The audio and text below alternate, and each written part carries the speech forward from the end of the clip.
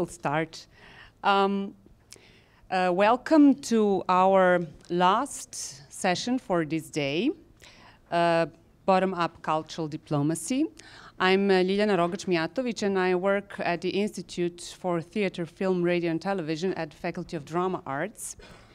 And I have to say that um, I'm much into the field of international cultural relations and cultural diplomacy, however, the term is compromised.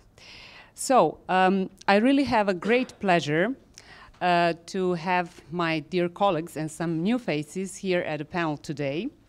Uh, first, we will hear Jonatan Stanczak from Palestine, from the Freedom Theater. That's all I have to say. I think you will say all the rest. So, there you go. Thank you. Okay, thank you very much, and thank you for coming also. We have the Palestinian embassy here today. Uh, first of all, it's an extreme honor to be at this particular festival because of very much of what has already been said in the earlier sessions, because of the nature of this festival, festival and because of its courage to maintain those visions and values. So uh, it is indeed an honor to be here. The particular subject is called bottom up. And that might seem, at a first glance, to be something uh, clear defined. But I would like to say that it is not always to know what is the bottom and what is the up. And it is not easy, even for the film theater that is clearly seen uh, by people around the world as a grassroots movement working bottom up. But for us, it is not clear, and it's a contradictory environment that we are in. I would also like to say that uh, Mira Trailović uh, is a great source of inspiration. I didn't know about her before, but her power of inspirational leadership in a time when things were not clearly defined, of creating a leadership and a vision that encourages people to, um, to think freely. At a time when it's, it's not also maybe not accepted and maybe not uh, culturally uh, integrated to think in those ways. Uh, the, the, the other point is that I feel comfortable speaking in at the BITEF because it encourages provocations. So if I provocate anybody, I would like you to consider it within the framework of the conference.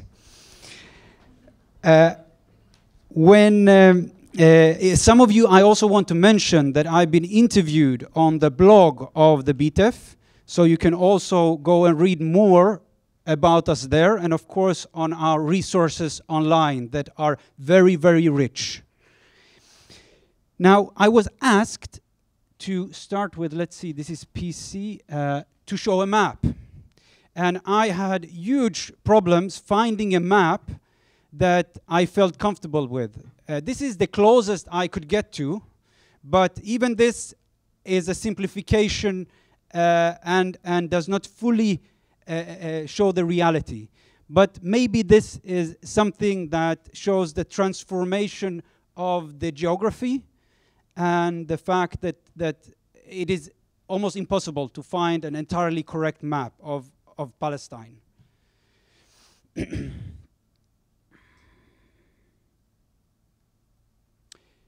so when talking about the Freedom Theater and a, a bottom-up perspective, I was asked in my interview to, uh, to explain our aim.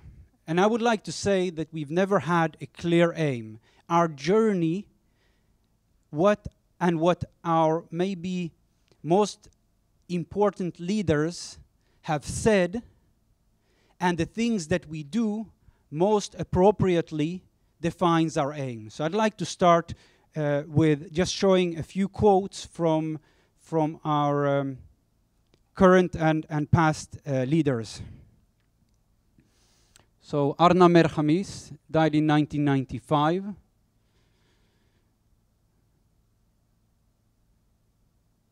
Giuliano Mer Khamis was assassinated in April 2011. And you can see the quote there, I don't need to repeat it.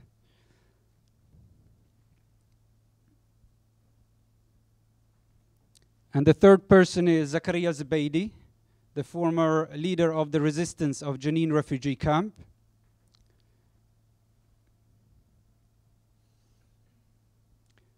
So, what these things say about us is what we define ourselves as, as part of a cultural resistance movement. And cultural resistance is defined in many different ways. And maybe the mere difficulty and multi definition of the word is part of its essence. So, what you see at the back are some things I found by Googling the word. And they all correctly refer back to what we do and how we refer to the word, uh, word ourselves.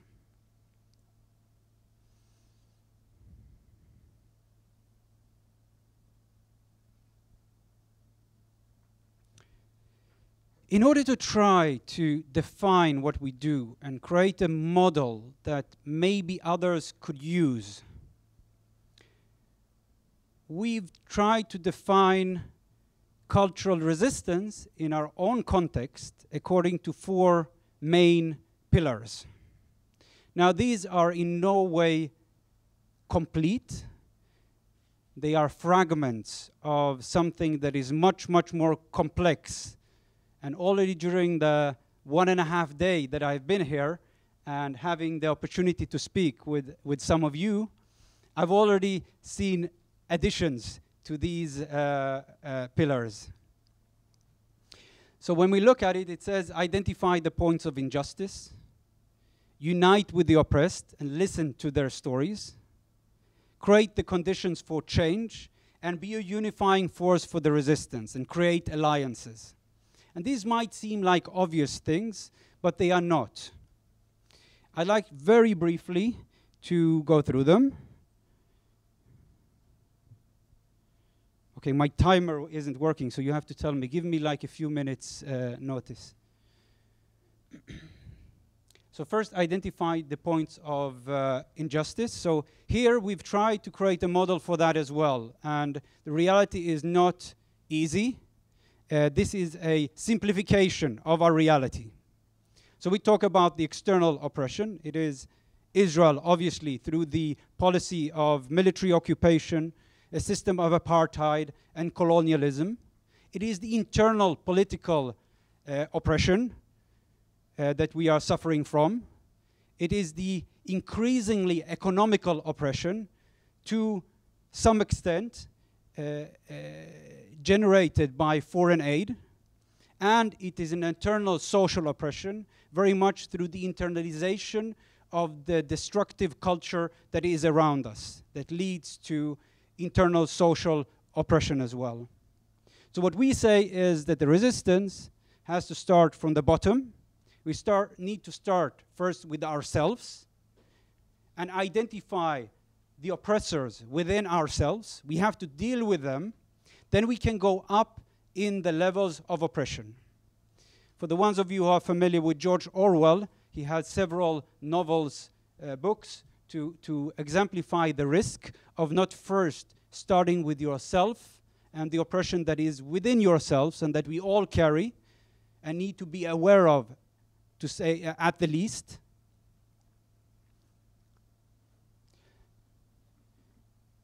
The second pillar that I mentioned is unite with the oppressed and listen to their stories. What we do very much is in, in the Freedom Theater is that we go to the people and we create spaces where they can express their stories. We use those stories, they are shared collectively, they are being narrated, they are being exposed both on a local, regional, and international arena strengthening our own narrative, creating our own uh, uh, um, contemporary history of Palestine, so that we can become the capturers of our own narrative and that our narrative can be the leader and not somebody else's imposed agenda. which is largely what has happened. We have become subjects to others' agendas. And this is an example of how we do it. Here we go out to the most uh, areas that are under the most severe attacks. So this is the Jordan Valley. These are communities that are under very active ethnic cleansing. And we try to make their stories heard, bring people there, create events, and make those places known, and uh, uh, for those places also to feel heard. When it comes to the create the conditions for space, we think that that is not an easy thing to do because first a safe space needs to be developed where people feel comfortable to express themselves, to share deeper parts of their own personalities. So we believe that that is the first condition a place where people can feel safe, and then not primarily physically, because we can never guarantee our own physical safety, but we can work on the safety between us. I need to trust you in order for us to do something together, to create something together. Later, when we trust each other, we can start playing. And then I mean play by not the, the play we relate to children, but a sophisticated play in creation, something new, in experimenting together, in, uh, in crossing the borders of our uh, restrictions, of our framework. And the third thing that in this process we learn new things together. So that is the fundamentals of education. When education does not come through the process of play, it is an imposed agenda and it's part of the oppressive structures. So we want to change a culture of fear and distrust into a culture of learning. So that is the fundamentals of creating the safe space. And we can relate to some other terms here. Uh, we work holistically, the body, mind, and the spirit.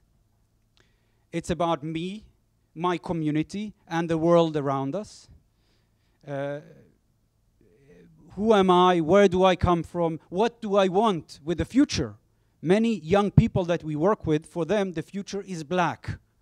The future is something that, that is uh, uh, realized in the morning when I wake up. And be a unifying force for the resistance. And this might seem a bit strange, but for us, especially the Freedom Theater, located in Jenin refugee camp, there's many kinds of resistances in Palestine. Palestine has historically shown some of the largest multitude and forms of resistance in the history of, uh, uh, uh, of resistance.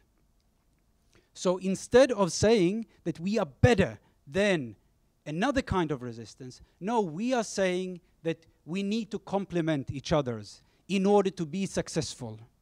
Because now there is a competition about who is the right kind of or the best kind of resistance. No, we need to complement each other. And as Giuliano Mer Khamis said before he was assassinated, if the front line of the revolution is not, uh, uh, uh if artists do not participate in the front line of resistance, then there's a great risk that the revolution will fold back on itself because we need all the time to deconstruct, rethink our reality. So a way to look at it is to show a very famous mosaic, one of the oldest known mosaics in the world. It is located in the town of Jericho. And we could see it as if every stone of this mosaic resembles, represents another kind of resistance. But it is only when all the stones are together that, uh, uh, that it becomes a pattern, that it, it becomes something beautiful. And one of these stones we'd like to see is cultural resistance. These are, two minutes? Okay. Uh, these are some of the plays. The first one we did, as I mentioned, uh, in 2008 was Animal Farm. We did The Caretaker, which was an adap adaptation of Harold Pinter's play. but very local adaptations. Alice in Wonderland, but here we were talking about the, a young woman caught in the labyrinth of society's expectations, demands, her own dreams, love, desire, and so forth, and the people pulling her back and forth in this labyrinth. Suicide Note from Palestine was roughly in, was inspired by um, uh, a, a, a, US play that was uh, was called a Suicide Note. Uh, we made it a Suicide Note from Palestine, dealing with the um, the international aid and how that affects a young person in, uh, in Jenin refugee camp. Power poison, dealing with the power struggles in society and how it poisons any social relationship and context. The Island, a, um, play written in South Africa by Anton Fugard about the experience of, uh, of imprisonment and uh, which is an experience almost every Palestinian man has gone through. And these are some resources to where you can have more information about us. And as a last point, I'd like to mention that we'd like very much to also be able to, to represent our work in, in um, Belgrade, in Serbia, and in the Balkans. So one of the reasons for why I came is to also meet with theater groups, producers, and so on here during the conference and in Belgrade, and to think of opportunities for presenting uh, our work uh, in the future. Thank you very much. Thank you, Jonatan. Thank you. Do we hear it? Okay. Thank you very much for the very thought-provoking and I would say passionate speech, Jonatan. Uh, I think the mic is not working. Do you also think the same?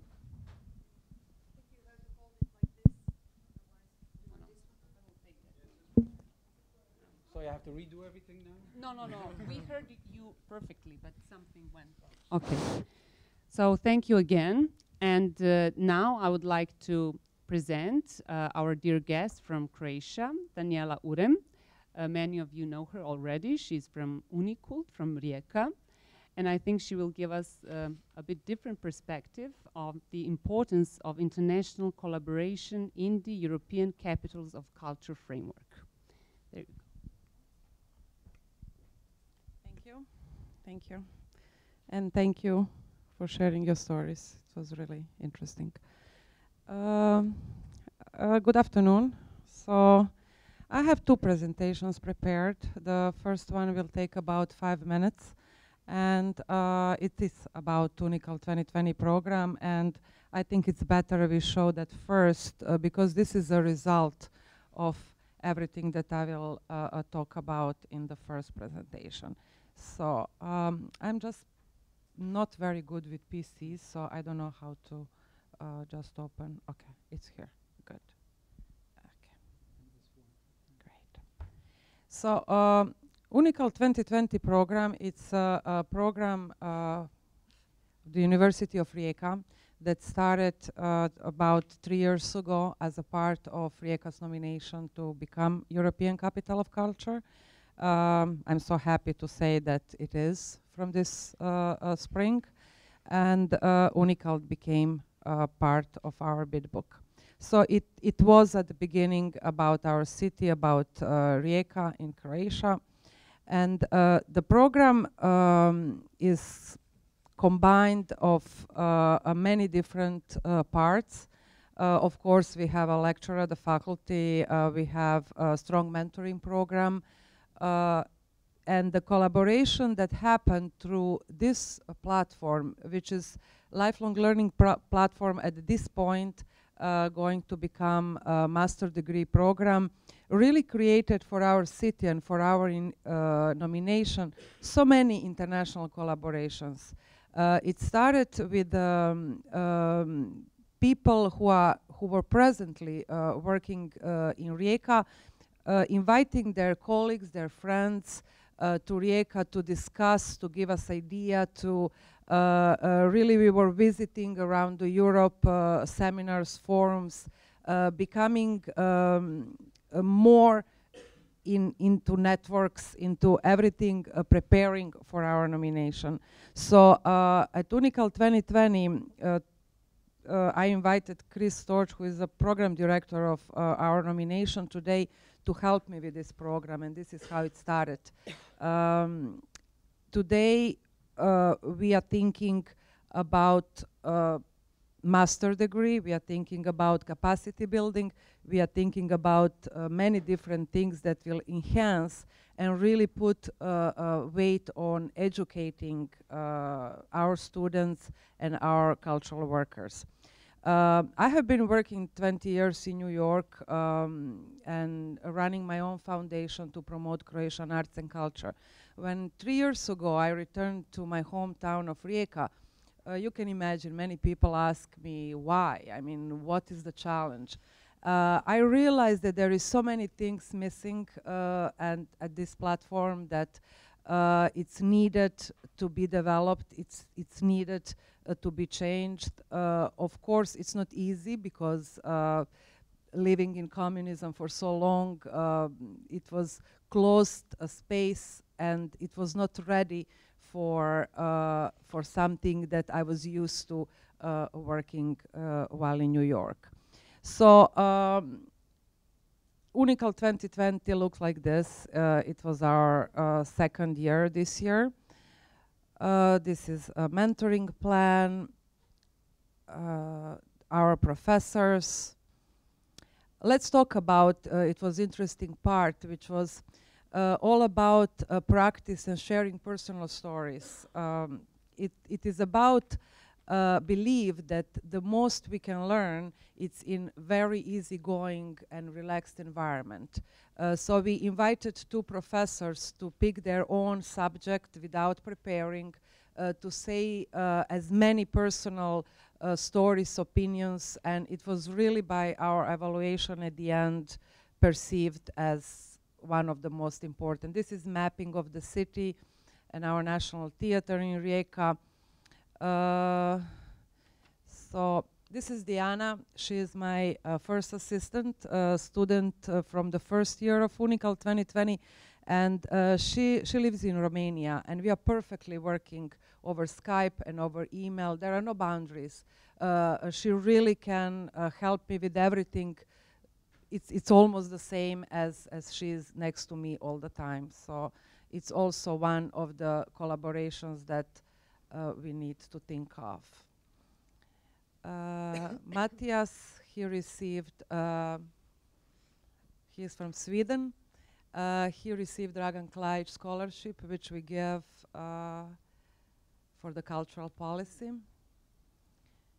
Okay, so that's me. The, the program was presented at the Culture Forum this year, and this really helped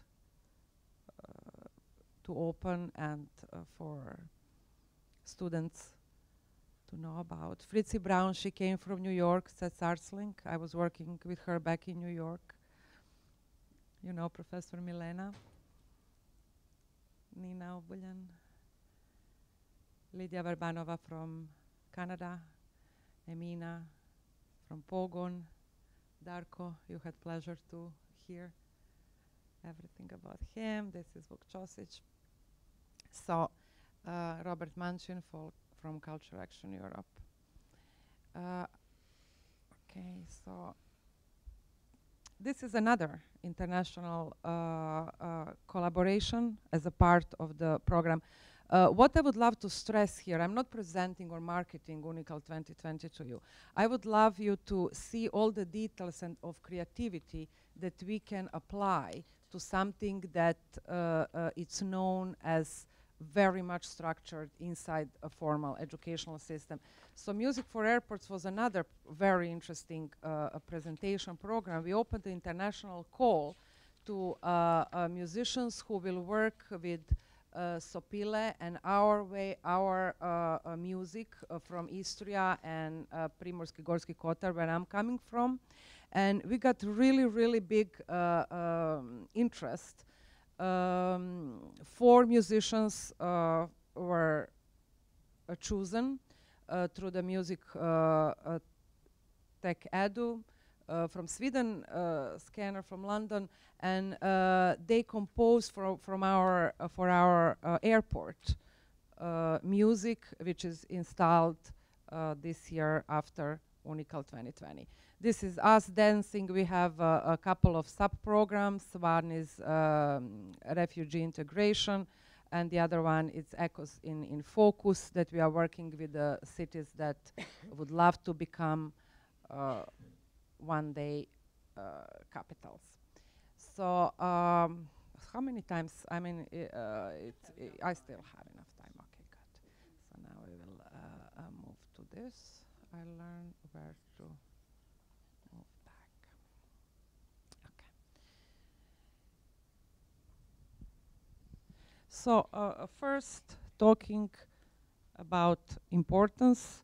There are some guiding principles for EU action that uh, you can read. And then I'll talk about walls. Uh, I will come back uh, uh to walls again because walls are the, the one, I mean, uh, you know, continuing to, to what you were saying, we were in your situation so many uh, years ago and uh, today sitting here in Belgrade, it really doesn't feel as international collaboration for me. Uh, it really feels that uh, uh we know each other very, very well, too well uh, uh, for us to learn from each other. So it's um, it is really beautiful feeling, and the important is that we need to use this as an advantage, advantage of knowing that we once lived together. Uh, now we don't live together in that sense, but if we spread to Europe, that feeling, uh, that uh, similarity that we have, we found in any other country of Europe, uh, I think this will bring us much closer.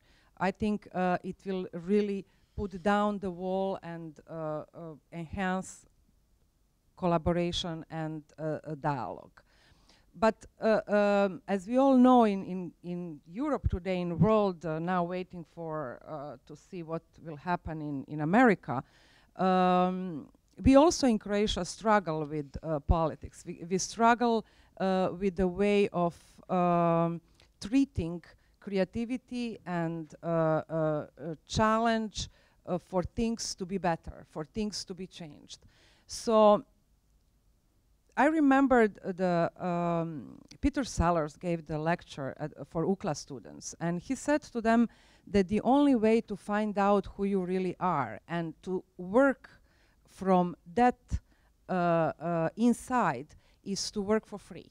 Of course, I'm not promoting here because we all know in arts and culture we are doing so, so much uh, uh, uh free work and helping each other. But when I returned and I was invited uh, from rectors to, uh, from the university to create cultural programs, I asked him, I said, is, is it okay if I work for free the first year? And just I will have the open hands to create and to, to really be free to do something else, not to be uh, so closed up into uh, uh, legal system or things that uh, prevent us to go. And I think that was the reason why uh, it happened, uh, why Unicult uh, became in such a short time uh, a really great potential. So uh, you all know what the European Capital of Culture is, and this is a chance not just for our city and country, it's a chance for the whole region, and it, not just the region, it's, it's, it's a chance for the whole Europe, because now in Rijeka we are waiting, we are open, we would love to collaborate, so it's two ways uh, uh, actually a process, and I think that it will happen. Um, I am pessimistic and I think that uh, everything will be perfect, but uh, also uh, concerned uh, after experience that happened in Maribor, uh, I am concerned what kind of education is needed in such a short time, which is four years, for us to really make sure that uh, things are the best possible and that will stay, of course, after 2020. And this is about European dimension of the uh, of the collaborations and projects. This is what I meant.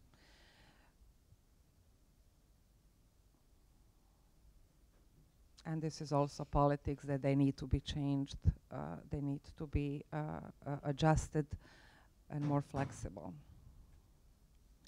So how to organize the education? Uh, I think that informal uh, was perceived as not as serious, but informal gave the first platform for something to be uh, really, really detected and, and really uh, uh, gave us the opportunity to change it easily, uh, to by creativity make sure that things will be produced at postgraduate level as best as possible.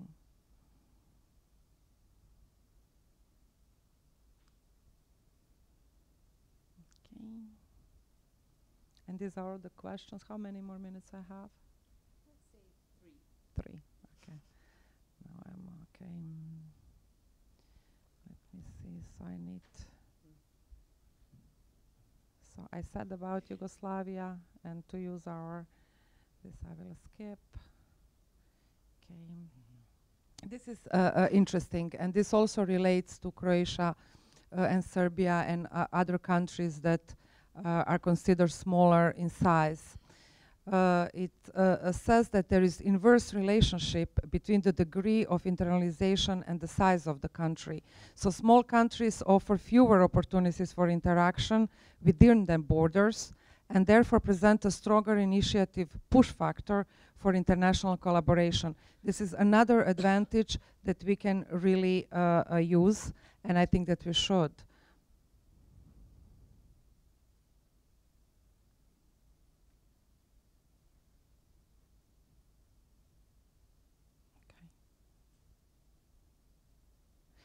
Yeah, so it's in Europe.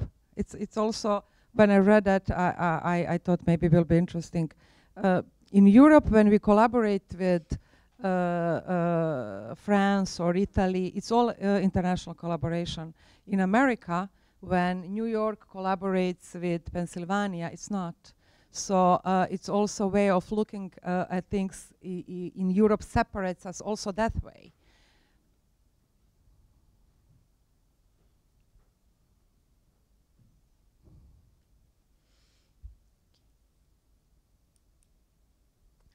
So I, I think I uh, I didn't count uh, because there is many many uh, subjects here that I will not be able to cover. But I can post if you're interested or send you. and this is the rank of what I was talking about. This is the rank of the countries and their collaboration in 2007 by percentage. I think that uh, Slovenia, it's on 31, 31st place.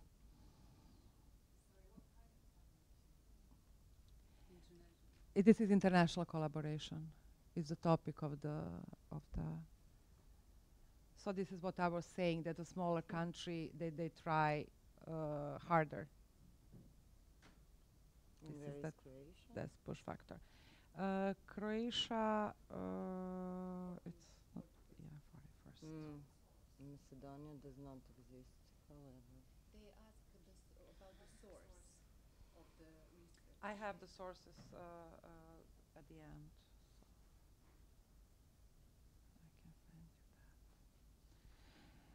Okay, so the potential problems, of course, of international collaboration, according to Manning, coordinated and coherent federal non-governmental strategy to enhance international efforts, a clear and strategic priorities identification due to increased demands and opportunities for international engagement, an improved coordination among provincial, regional, federal, national governments and non-governmental stakeholders, an important information provision to key stakeholders, MPs, government officials, international partners, media, new opportunities for strategic discussion at national and international level, a new partnership which enrich government to government relations. So uh, most of these programs are not uh, on us to solve, but it's on us uh, uh to do our best and uh, in our work to, to really uh, move things up. So the lack of coordination between national and provincial governments lead to insufficient financing, financing that is also very needed, not the most important, but very important in, in our work and productions. And challenges and issues, international collaboration can, can be combined into three major groups, national, institutional, and individuals. And this is what I was, what I meant.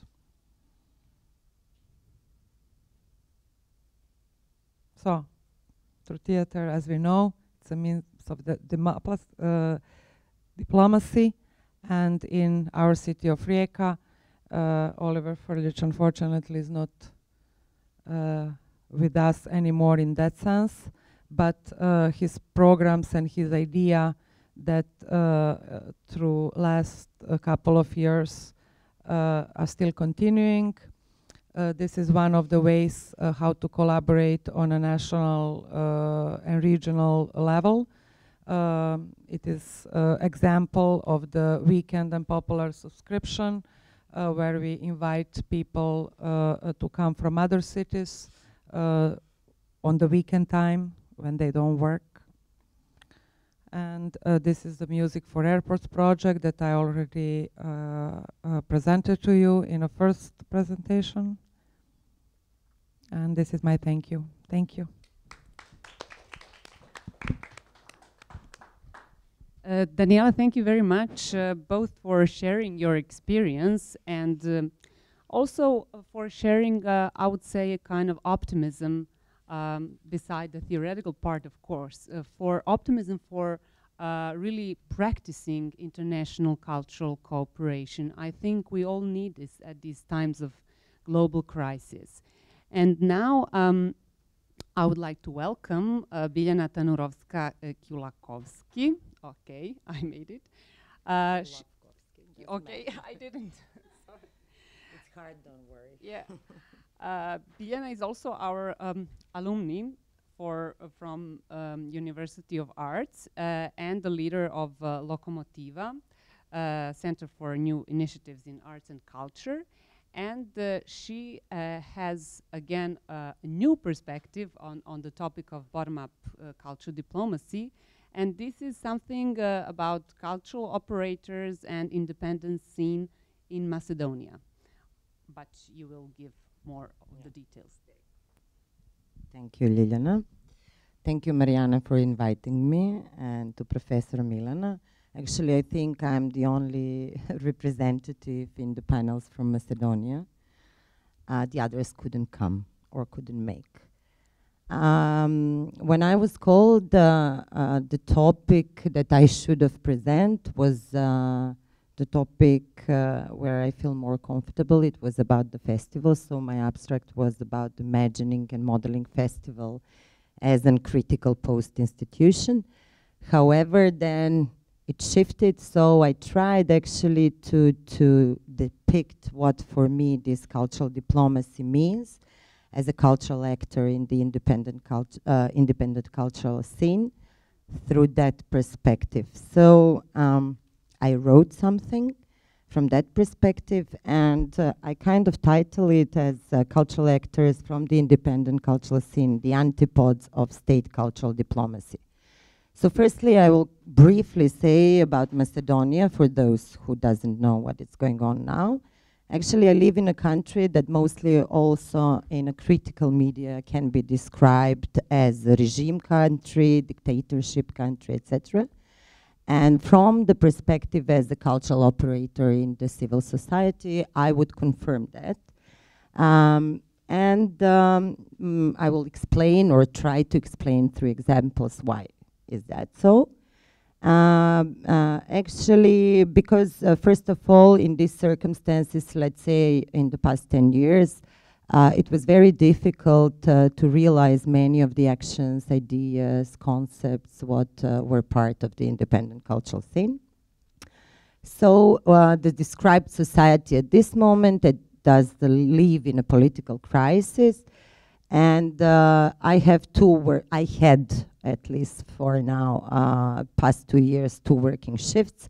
One was uh, working uh, in the place where we uh, uh, produce. It's a new place, Kino Kultura, it's called, or in the cultural environment. And the second shift was six o'clock at the streets uh, protesting. So that was happening for the last, let's say, two years, but mostly in the uh, until July, the past three months, it was going on uh, every day. There were different and different protests going on on the streets, which the civil society was part of. So, uh, about the cultural diplomacy, actually, I would try to put it uh, on the level of uh, what I practice, and uh, but try to to first give the definition what what is uh, kind of uh, the definition accepted, and that is a course of action based on exchange of ideas, values, and other aspects of culture of or identity, aiming to strengthen the relations. We heard a lot about the, re relations in the past panels, partnerships, etc., but also to generate new and to enhance the social cultural uh, collaboration. So the role of the cultural diplomacy is related with the culture in its totality, I would say, meaning doesn't represent only the nationally constructed and represented cultural identity, but also this identitary politics formed uh, through the social cultural content produced in different sectors, of course, in the public, in private, and also in the one that I represent, which is the civil. So the cultural diplomacy, it's also part of the general cultural policy and it's related to its dimensions. So in that relation, uh, for me, uh, it's uh, necessary to open the question about what is the cultural policy in my country or in the context, or what uh, is the question of contemporary cultural policy nowadays. It's more oriented toward the citizens, the individual in the whole territory in the country territorially conceptualized principles of cultural policy, of what uh, uh, Professor Šešić was also writing, are di differentiating from the traditional or anachronic so-called cultural representation of the state and nation preservation and promotion of the cultural identity, but through pluralism, diversity of the ideas, actions, concept, and enhancement of new productions, processes, uh, and cultural content. So, also cultural policies are a set of uh, practices that together with the relevant institutions through different regulations are shaping the everyday life, I would say. But also, um, cultural policy employs means in which presentation or representation of certain ideal are shaping the human life, especially through dominant and marginal media of communication, where these values represented and identification with them is possible. So my, in my country, also in Macedonia, access to the media where these values or different values than these uh, uh, promoted by the establishment uh, cannot be found because the media were are occupied in the past, let's say, mostly six years uh, and the, in the manner of the agitprop are presented the values that the larger population is identifying with because there is no diverse, uh, let's say, presentation of something else. So no matter that culture is necessary, so-called autonomous realm within the society, which in uh, order to be positioned as an auto autonomous in a metaphysical or also in a technical sense, it is performed by a certain political act, I would say. But also that's, uh, that's kind of a decision, you know, different political acts. Therefore, it is important what is the content of that political act that shapes the cultural policy. it is related to the general political ideal, I would say, that within the state uh, context. And cultural uh, diplomacy is inevitably uh, related with the same political ideal represented with the same uh, with the state system. So question is how in a political ideal where civil society is totally marginalized as in Macedonia and put under scrutiny by the establishment uh, a cultural diplomacy can be activated or how it is performed by the players in the civil society. When I say it's put under scrutiny, I would say that uh, also the civil sector or independent cultural scene is diminishing in the past years because we are uh, facing something that I would say implicit censorship, which means like uh, cutting all the supports, uh, uh, and becoming invisible citizens, or even in Marina uh, terms, erased citizens, I would say. Anyhow, as in most in the ex-Yugoslavia or post-socialist uh, countries in uh, South in uh, East Europe, the general cultural landscape in Macedonia is dominated by the so-called official culture created by this uh, unmanageable system of cultural bodies which are heavily centralized and being under the direct control of the state administration. So cultural institutions, in spite of the rapid political, economic, and other uh, changes in the societies, have not yet experienced a significant structural transition, or moreover, they inherited the principles of governance from before and um, from the past, and such a situation only works on preservation and conservation of the traditional, which means building the cultural representation which is producing so-called crisis uh, uh, in the cultural field. And I think uh, this is also used by uh, uh Dragojevic, since there is insignificant support of plural and diverse cultural content. And here we can evidence a cultural policy completely subjected to the national ideology in Macedonia.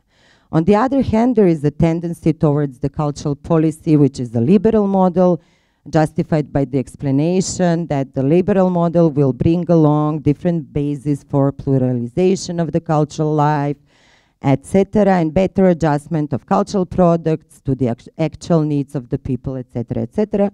Or, you know, we are facing this approach of cultural industries that are just coming through the door, not understanding in its essence what they mean, and how they should be uh, implied into the, the context. Uh, being aware that we cannot denote or we cannot deny this economic aspect of the cultural production, it's important to note that uh, these different market strategies that are entering through the doors, especially in our countries, uh, are neglecting social foundations for culture and its public role. So this is the context in which we work in the independent sector.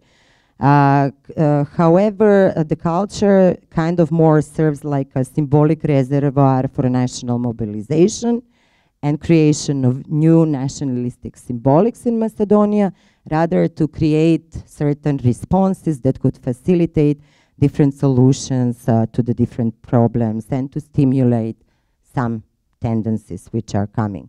So on the other hand, the civil sector, uh, we are also having this culture of resistance, as you're saying, and we are always within the conflict, and then, um, how to say, we are questioning ourselves in uh, uh, this uh, Spivak manner. It was this uh, strategic essentialism do we go in a conflict situation? Do we over criticizing and insisting on this, on the details, or we should insist on essential issues uh, from what we can gain benefits?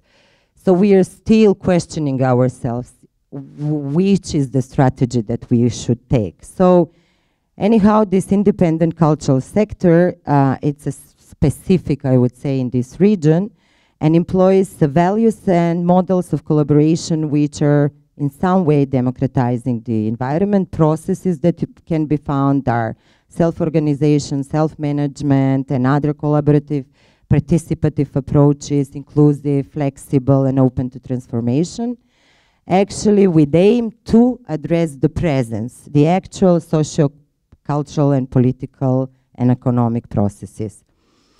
So, uh, in the independent sector, artists, producers, critics, etc., uh, etc., et activists initiate and create and act in a very similar manner, sharing common values and tend to build a society in which, uh, which they would like to live together with the audiences, with the stakeholders, etc., par participants, supporters, and etc. But uh, operating actively in the context make them to be with the relation with the, in the relation with the present because they critically reflect the presence uh, and the the act towards the actual needs the problems and etc all with the aim to reflect the different future in and to uh, uh, yeah.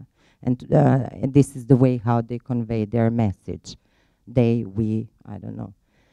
Uh, so independent sector also produce the dynamic systems of collaboration, production, dissemination, and etc.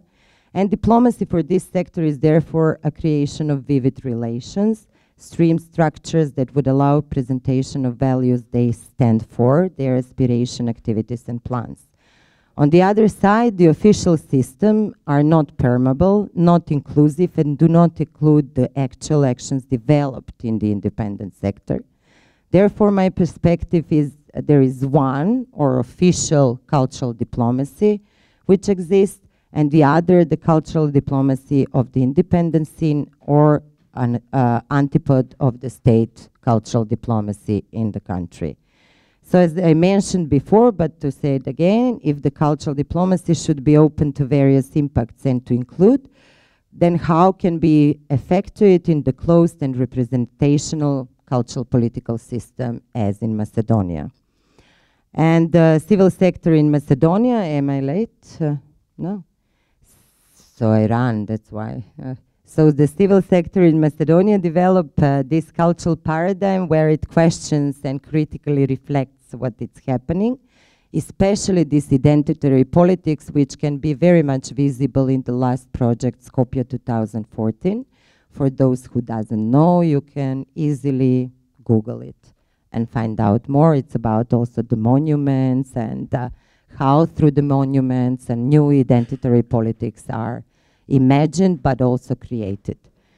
Um, so, uh, uh, so the independent sector creates this field in the diplomacy, which is implemented through actions of actors on the international scope, I would say. And the only thing what uh, made us alive uh, as an independent cultural sector in the past years is the relation with the international scene but also with the region uh, and with our partners from the region.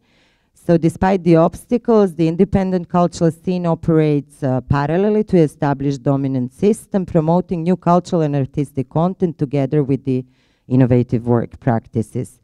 Uh, with international partners, we promoted new models, uh, new platforms, new networks, and etc., etc., being active also in various uh, advocate, uh, advocating uh, processes, which goal was to affect the cultural policy reformations on local, national, regional, and etc. level. Uh, so on the other hand, the official level of collaboration, let's say in the um, system of uh, the institution, is very sporadic, non-systematic, and occasional. And I would like to name a couple of these uh, regional, local, cultural diplomacy bodies, I would say. So it's like this Nomad Dance Academy. It's one platform that exists from 2005. Uh, then it's Kooperativa. It's a regional platform for culture and collaboration. Then all this association of independent cultural scenes. But I also would like to uh, say that uh, we created uh, uh, in the past years other uh, cultural diplomacy bodies like Kondenz Festival, which I would say that it's also heterotopia in some sense, or in uh, darker words, it's a agenda setting where the invisible is becoming visible. Then we created this festival of locomotion, which, uh, which uh, unfortunately we will end this year because there are no circumstances for such a continuation. And I can name also others, but I think it's very uh, important to name them. uh, symbolically in that sense to understand that there is a great asset into this sector of uh, independent sector. So in order to have a cultural diplomacy that would be effectuated in its totality, a cultural policy system or the political ideal uh, should be stretched or reshaped from the political ideal of representation to the political ideal of inclusion of diverse opinions, concepts, ideas, methods, approaches, and etc., etc., has to be constructed as a trampoline in some metaphorical, let's say, uh, sense, or a platform from where the action of diplomacy can be started. Uh, the platform for me is a space, or for us, is a space for action or a space that allows different actions to happen.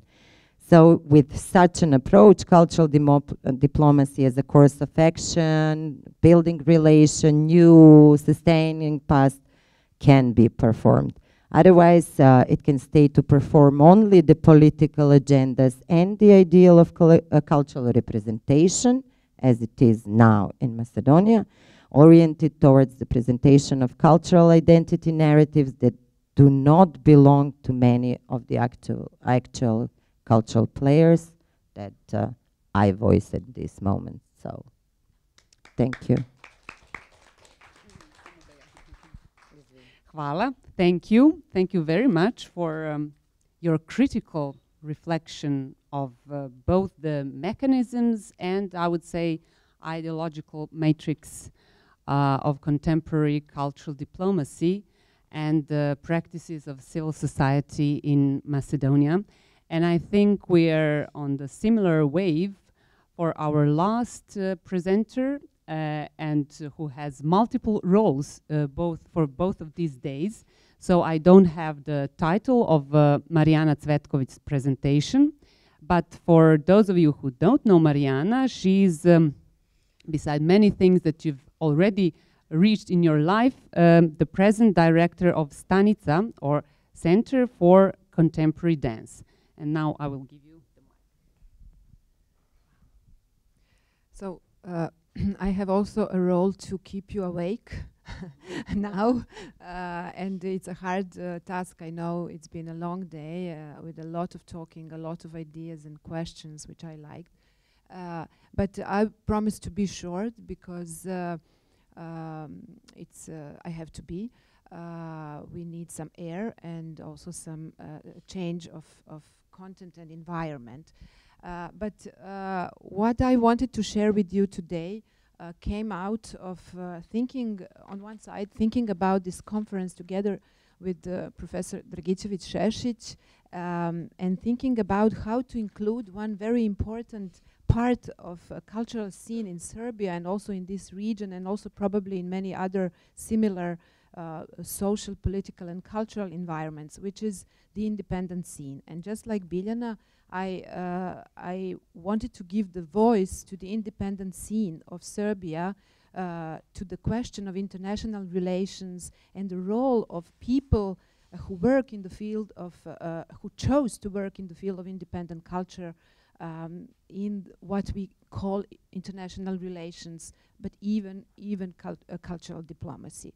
Um, and I work in the field of contemporary dance and contemporary performing arts, but also somehow larger in the field of independent scene. What is it? It's a it's a part of civil society, so like part of this third of the uh, uh, uh, of the of the cultural sector, where we have public, private, and and and independent or civil society, but independent scene is actually, um, um, let's say, more or less formal collective of various and, and numerous small and large organizations who choose to work in a way to be critical towards the environment in which they work, towards the policies uh, that create their frame of work, and also towards uh, the conditions and production models which are imposed or which appear to be possible for their work.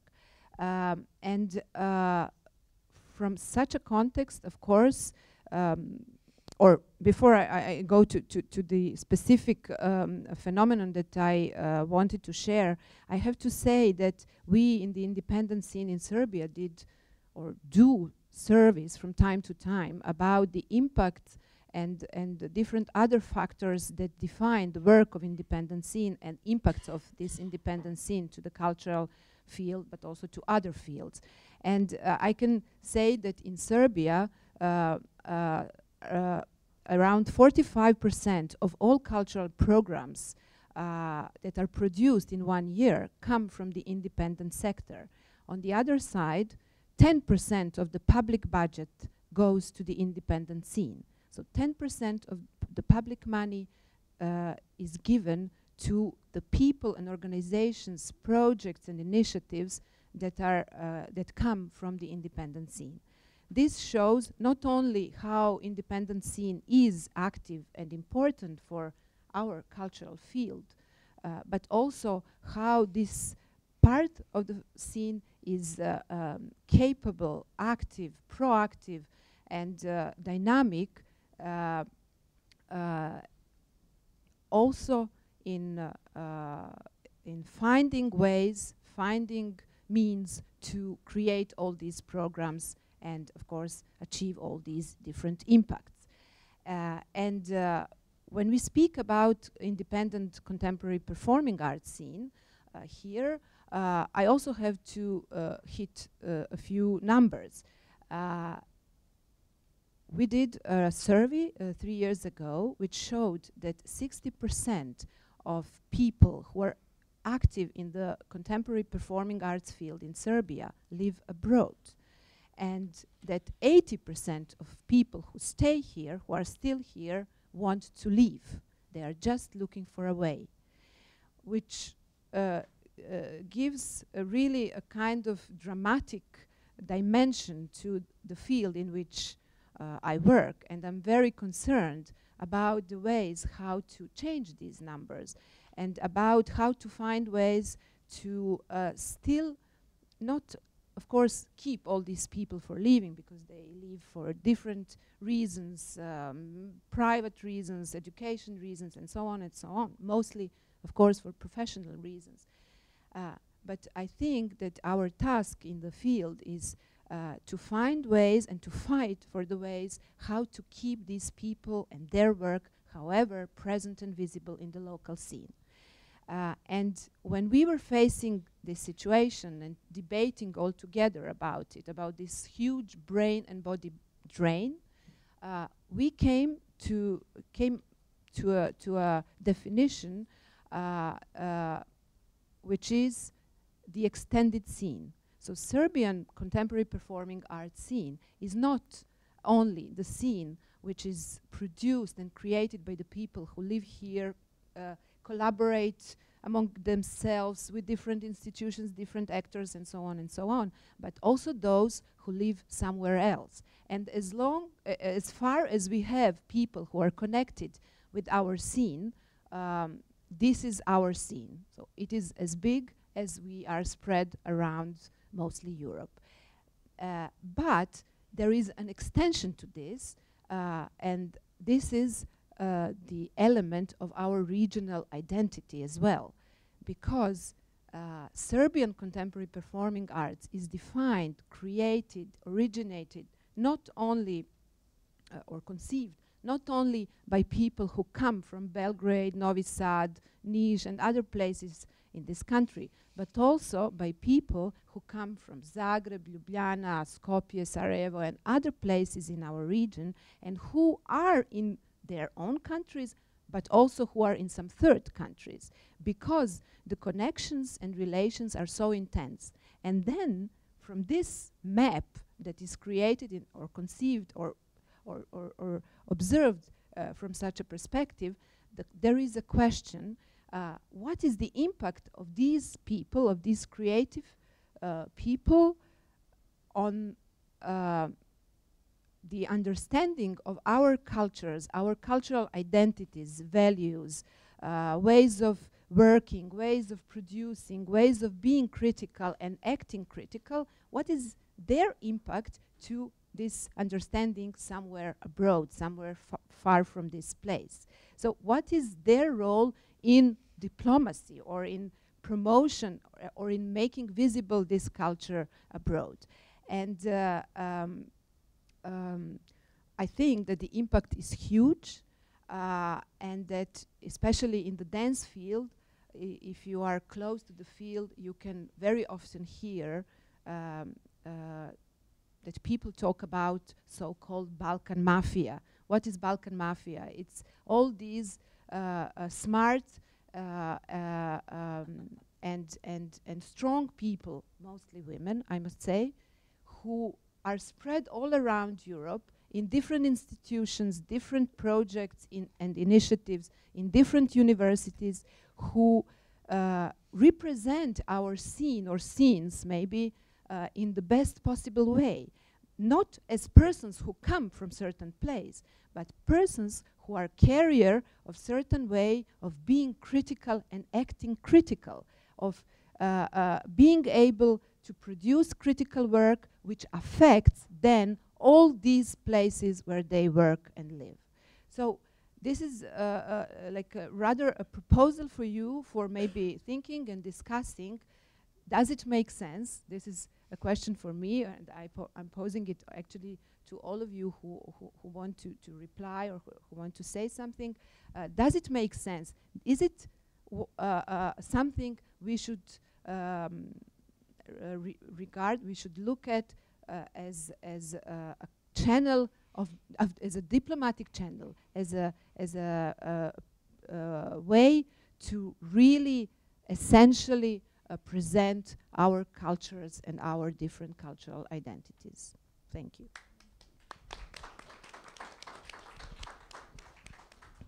Thank you very much, Marijana, for words of hope for our world and for also encouraging uh, collaboration for arts practices in the region and also for giving a kind of gender perspective uh, to your talk.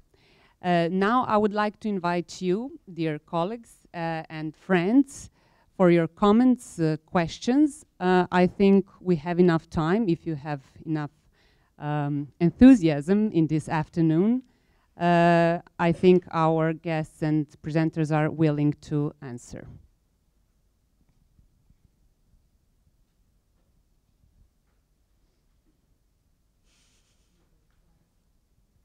Yes, or maybe someone from you would like to start. Okay.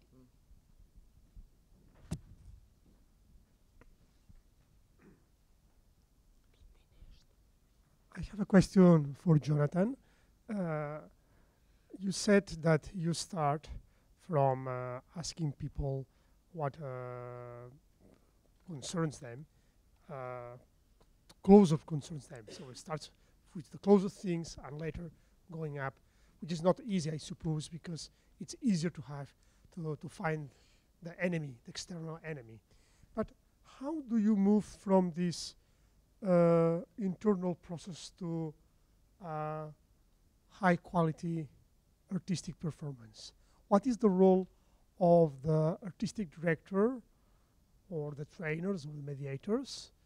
Uh, do, you, do you do communitarian theater or do you just give uh, uh, some material that uh, artists will later decide to compose in a certain way? Are these uh, performance play only with these participants? Are they also played by professional players? So which kind, I suppose you have different answers, so that depends of the, the of the piece.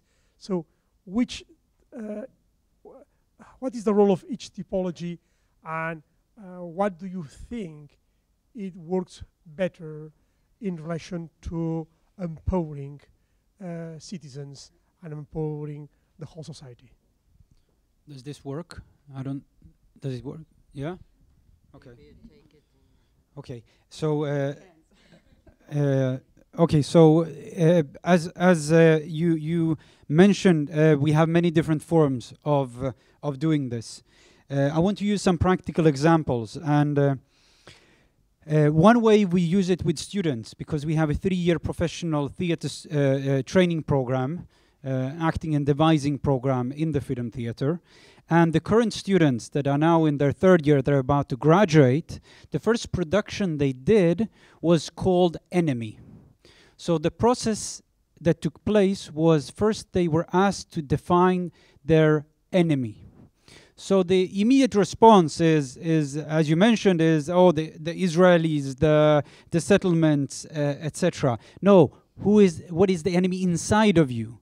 So with enough work and progress, you come to deeper patterns. It might be that in school uh, you, they had a very abusive teacher. They might be uh, that they're very afraid of their father, etc., etc. They might be bullied when they were in school. At the same time, they're giving the mythology of Medusa that has a very strong cause and effect relationship. So they need to investigate that uh, story and at the same time go deeper through narration, through uh, embodiment and uh, uh, of of their own enemies, and later through a devising process with the help of dramaturge and of of uh, a director, uh, etc. They combine the two stories into one play that is performed. So this is an educational process that they went through. Now, uh, another play that we recently did was called Mrawah al-Palestine. It's uh, Return to Palestine. So this play was the result of performing playback theater during the course of two weeks in about a dozen different communities. And playback theater is a method where a story being told by an audience is immediately transformed into pieces of um, of uh, spontaneous um, uh, theater. So the collection of of these stories led to the the devising of the play Return to Palestine that was later performed in many of those communities from where part of that play uh, was taken from. And this is a method we've done for a few years now in, in various ways. Another play that was much more um, uh, uh, um, prestigious in the sense of scenography, uh, etc., that also last year made a huge success in some of the main stages in the UK. The play was called The Siege. And it was a way of trying to understand the events that happened in the Nativity Church in 2002, that was put under siege by the Israeli army, while a small group of armed Palestinian men, together with a few hundred civilians, were locked inside. So we traveled to various parts of the world, because many of those persons are today in exile in different parts of the world. So we interviewed them, we interviewed uh, a priest that was inside, we interviewed some people that, that were affiliated to the thing. And through that process, we tried to capture the, uh, some of the essences of these stories, and the play was performed in Palestine. And to the audiences in Palestine, the play was provocative because it uh, showed these men that in the view of the shaheed, the view of the martyr, uh, are holy, cannot be touched. But in the play, they were also craving for hunger. They were really hungry. They were dreaming of, of sweets, of knefe. So, uh, so in that sense, it was provocative to a local audience. For an international audience, it was extremely provocative because it took men Palestinian armed men. It was represented by six men with Kalashnikovs and M16s in their hands. And that's a taboo to, to represent Palestinian armed resistance on stage to international audience. So there was a lot of demonstrations. Now, uh, a third play that was made for children was Math Exam. That was the name of the play. And that was the result of a small research we did in the refugee camp of Jenin, where we asked the children what they are afraid of most, what, what triggers their fear. And we realized to our surprise that it was the math exams in schools. that uh, uh, creates a, an extreme level of pressure from their parents, from their uh, uh, uh, family, etc. So we made a play about the process, a young boy in his family before the math exam. So these are some of the ways how the stories from the people, in various ways of collecting the stories, are then devised in in different ways, sometimes into community spaces, street theater, sometimes into main proscenium, main stages, uh, national stages. Thank you, Jonatan, and thank you, Mr. Bonnet, for your question. Now, Sunčica has a question or comment. Thank you, Lena. Thank you for your presentations, which are uh, at the end of this day a kind of a kind of a uh, let's say a point on many things which we have heard today. Uh, I was wondering strongly uh, after uh, the afternoon sessions about uh, several things which were said here. Uh, let me depart from what Marijana was uh, saying. Um, actually, as a, a, theater maker and also a cultural manager from Serbia, I have to say that when we consider cultural diplomacy as a soft a strategy or strategy of achieving through soft means certain, let's say, political objectives or ends. In our uh, case here in Serbia, uh, it is not really at all clear what are the ends because we do not have an official cultural policy. Neither we have uh, a kind of a, um, a straight or, or clear uh, way that the culture is developing or the um, uh, the, the place and the role that culture has in our society. And in that uh, case, in that aspect, we are very, I would say, uh, unique because uh, in other countries of uh, ex-Yugoslavia, which was a term uh, used very frequently today here, Serbia is maybe the only country in such a position. We may not um, agree with the decided cultural policy in Macedonia, but it is there. We can maybe disagree with certain cultural policy in other countries, but they are formulated and they exist. Serbia does not have a cultural policy, does not have a strategy of cultural development, not to mention action plan and other things. And we would need to have that uh, by all our international um, agreements which we have uh, signed, but still we don't have it. Now, uh, what I mean to say is that uh, in such a situation, uh, the civic sector has very uh, important role. And uh, I'm myself a selector of an off festival, which is happening out of Belgrade, which is happening in the city 40 kilometers from Belgrade, which is called Smederevo. And uh, this uh, festival was started in, 19, uh, in 2005 Uh, when it was necessary to connect, to reconnect uh, Serbia and uh, Serbian culture with region, with the region and Europe. What happened this year is that we did not have the festival for the first time. We did not have the money, uh, and we did not have any other resources to uh, acquire this festival. Uh, the situation is uh, much uh, more uh, serious than uh, what we are willing maybe to, to um, admit. because setting of the agendas, as Professor Darko Lukic said very, very correctly, for the civil society and for developing the active citizenship and the sense of opening towards Europe and opening towards the region and opening in every sense which is uh, more than, uh, it, which is uh, pluralistically cultural and so on, starts with this kind of initiatives. So uh, I was willing to uh, share this with you and maybe to open one new perspective in this broader subject frame. Thank you. Thank you. Would you like to reflect on what Sunčica said. Okay. Darko? Just one sentence to Sunčica. Unfortunately, Croatia has no cultural strategy of cultural politics. The last uh, draft we had was uh, 2003.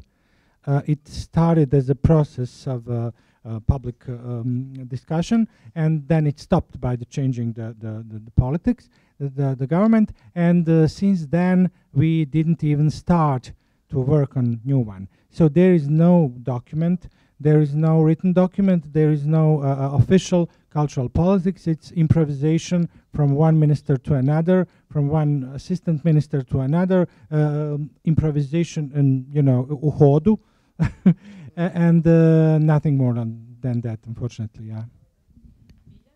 Just, just to add, because you were referring to Macedonia, that we have a this cultural policy. I mean, you should really read what is this cultural policy. First of all, is the mesh.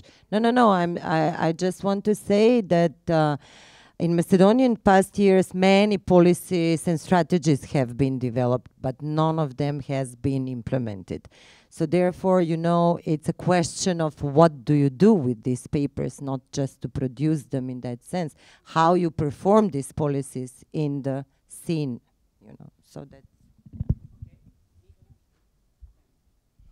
Um, a question for Jonatan, maybe a couple of questions. Um, first is, who do you aim your theatre at? Is it Palestinian audience? Do you ever do work for an Israeli audience? Do you primarily work for an international audience in order to raise consciousness about the Palestinian situation, and to raise pressure there? Secondly, in terms of our discussion around policy, uh, I mean diplomacy and cultural diplomacy in particular, what is your position on the cultural boycott of Israel?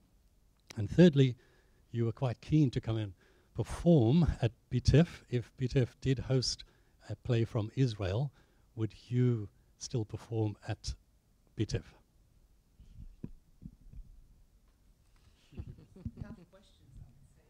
Yeah, uh, tough, but uh, not so difficult to uh, answer. First of all, who does our theater aim to be for? It's rather who wants wants to see or listen to what our theater does. Is maybe a, a better way to turn it around. I would say that when we do theater for children, we can do 100 plays and they will still try to tear the door down in order to get in. When it comes to youth, it's getting already more tough. When it comes to adults, it's difficult to get adults to come to the theater. So that is why during the last five years, we've started increasingly to bring the theater to the people rather than people to the theater which works in many ways better to the conditions and especially the communities that we primarily work with, which is not the communities in Ramallah or Bethlehem or uh, uh, uh, um, uh, as such. So, um, so we aim to produce theater for whoever wants it. In practice, primarily for children and youth. We perform internationally. It is not our prime target. Our prime target is what you saw on the slide. It is to create spaces for stories to be found, to be told, realized, to build and strengthen communities, uh, to empower communities, increase their resilience, etc. But we have a function and a responsibility also to share those stories on an international arena, and that's maybe fortunately and unfortunately, where the Freedom Theatre has become most successful. We are, in some senses, better known on the international arena than sometimes in Palestine itself, which is a contradiction that uh, we are grasping with ourselves. Among all the other contradictions that we are living within. Now, about the uh, Israeli audiences. Uh, we do not perform for Israeli audiences for some uh, several reasons. For one reason, and maybe the main reason, is that we cannot get out of the uh, Palestinian. May I use a term from your own historical background from the Palestinian Bantustans? Uh, i- i- w- our actors, and especially our actors, because they come from a high risk security area according to Israel, cannot get into Israel proper according to internationally defined borders. So even if we wanted, and sometimes we haven't ha- been against performing in any of the uh, mainly Arab theaters in within Israel's internationally recognized borders, but we haven't been able to. Uh, when it comes to the cultural boycott, we stand behind the uh, the Palestinian call for boycott uh, and divestments and sanctions against Israel, as called by a Boycott National Committee, the call that started in 2006, and that is supported by the majority of the Palestinian civil society. Uh, and we stand particularly behind the cultural and academic uh, call uh, that is led by PACBI, uh, now that call is, is not black and white. It is a very well-written, uh, sophisticated document that goes through many, many uh, different scenarios and situations. And using the word of the, uh, the author of this document, he has said that 99% of the cases are in the gray zone. So we apply it very carefully and we study each situation individually with the support of PACBI and by other partners that we work with. We uh, would, depends on, let's say we were here at BITEF and an Israeli group would also, it depends on how it would be presented. If we would be part of different events and we would not be put under some kind of reconciliatory or political agenda of representing both sides, in, in what might be perceived as an equal situation or a binational conflict, then we would not accept to be in it. But if we would stand alone within our own narrative and be able to represent our own work without an, a, a, a sticker put on us of normalization of an absolutely abnormal uh, relationship, uh, then we would accept it. So it, it, depends very much on the kind of framing of the whole thing. I, how would the poster look, you know? uh, yeah, thanks. I just wanted to quickly reply to Darko and Sunčica, is it? And colleagues from Macedonia and Belgrade, is that the rhetorics of our countries don't have a policy is in somewhat, I think, wrongly interpreted because not having a policy is a policy. Yes. It's a very, very strong policy. but in a sense, as much as we can sort of understand it as a negative state of the arts in our countries, um, simultaneously it's a very positive perspective because it is something that needs to be created with all the social and cultural capital and resources in artistic and cultural organizations that, as um, um, we heard in the presentations, are basically present in all these um, contexts. And by not having a policy doesn't mean that we don't have a system in place. And uh, not to end on a gloomy note, um, we sort of like the creation example of a systemic upgrade that was brought on by civil society actors. So the only upgrades that we have in our non-existing policy mm. were initiated by the civil society organizations. So the first hybrid institution, the first, the first foundation for the contemporary um, civil society organizations in contemporary arts. Even the cultural councils with the Ministry of Culture are a result of the advocacy process that came from the independent sector side rather than institutional. So you know, like we can take the situation, I think, more from a positive perspective, is that we don't have a fixed situation. It is very ambivalent and very frustrated, but also it sort of opens a lot of um, space for the negotiations. The only problem is that it's been 25 years, and you know, people get tired of negotiating and advocating and lobbying. So has, you know, like new generations, mm. I think that's the way to go. I totally agree with uh, not having a policy. It's a policy. I think it was uh, also. Uh, no, go.